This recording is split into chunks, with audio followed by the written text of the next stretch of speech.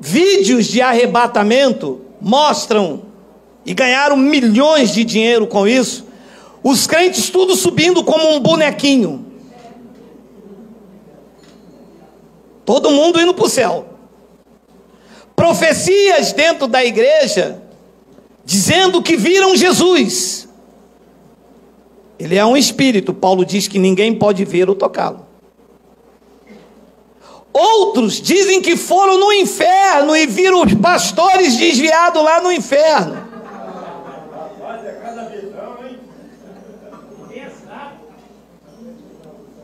Então a religião, ela gerou uma falsa esperança dos crentes encontraram seus entes queridos.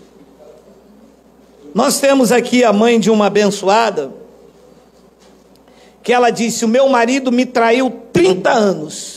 Depois que ele morreu no cemitério, eu encontrei lá duas amantes dele, inclusive uma com filho. Ele era presbítero da igreja. Mas quando chegar no céu, ele me paga.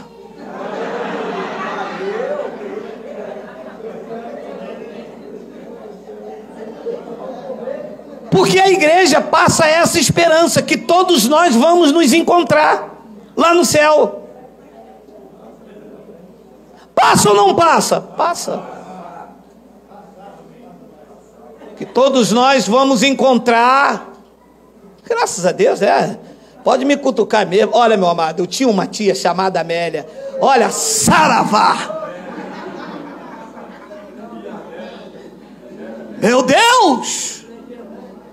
Tu imagina eu chegar no céu e encontrar essa mulher, essa mulher diz, de joelho no milho de novo.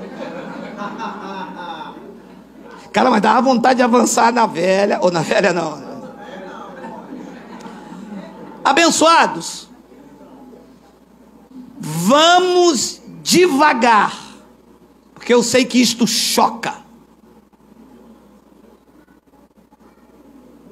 O pó aqui se refere à carne do homem. Correto? A carne do homem, quando morre, ela vai para o céu ou ela vai para a terra? Para a terra. E daqui a dois anos já não tem mais nada. Como é que eu, quando morrer aqui, eu, Geraldo, tá? Quando é que quando eu morro aqui, vou ao pó e do pó eu saio e apareço lá no céu de novo? Como que isto entrou na minha mente? Abençoado, esta carne e esta é o veículo que o espírito se move. Isto é um véu. Isto é, é como é como o carro tá? O carro para se mover, eu tenho que entrar dentro dele, ligar e sair dirigindo. O espírito se move dentro deste corpo. Tem prazo de validade. Uma hora, esta carne vai cair ao túmulo. E a tua verdadeira identidade é o espírito que está aí dentro é esse espírito que vai voltar para Deus. Vai voltar por quê? Porque veio de lá. A carne não veio de lá. A carne é resultado da junção carnal de um homem e uma mulher. O espírito não. O espírito veio de Deus e entrou nesse resultado chamado Geraldo, ou Antônio, ou Barnabé, ou João.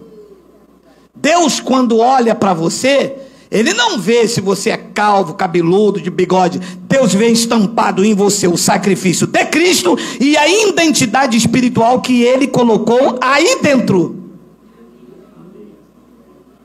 Deus não te vê segundo a carne. Então, a religião criou isto. E ficou essa expectativa. As pessoas erraram a vida inteira com seus parentescos.